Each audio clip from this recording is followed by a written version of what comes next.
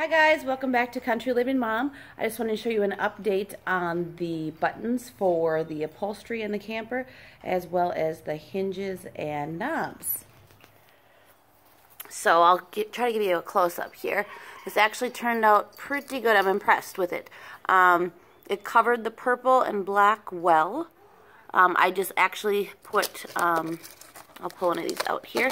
I put the screw that attaches to on there and then these pop off fairly easily, and they just snap right on the top. So I just did that through cardboard um, just to make it uh, easier to paint and also um, preserve the screws so the screws did not get um, paint on them.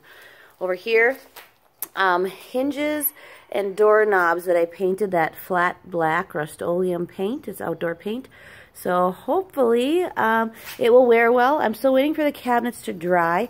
It's been a few days now and I'm not quite sure when we can actually hang the cabinets back up in the camper. I don't want the paint to stick. I've heard wait up to um, a week even. So we're going to hold off on that for now. But thank, thanks for watching this video and I will show you um, another video once that is all up. Thanks for watching guys.